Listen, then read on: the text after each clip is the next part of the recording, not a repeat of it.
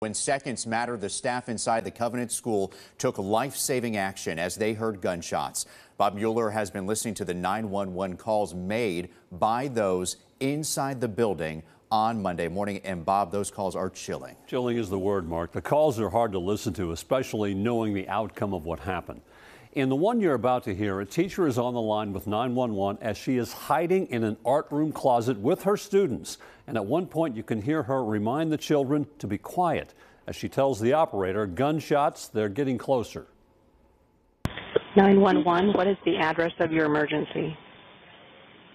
33 Burton Hills Boulevard. Is that at Covenant School? Yes, I hear we hear. We think we hear gunshots. I think you hear gunshots. Okay. Okay, you're still Huh? hearing shot. You're still hearing shots. No, it sounds like they stopped at the moment. Okay. Okay.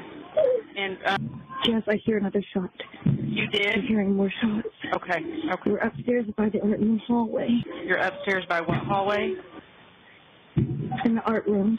Art room. Yes, please hurry. I'm hearing you. They're coming. They're coming. And they sound Just try. Just try. Okay. Try to stay quiet. I don't know what's going on there, Okay. but um. Terrifying moments. Now, the call was made at 10:12 Monday morning, and Metro Police Chief John Drake said officers shot the suspect 13 minutes later at 10:25, ending the assault. Mark. All right, Bob, thank you. Well, they did everything they could.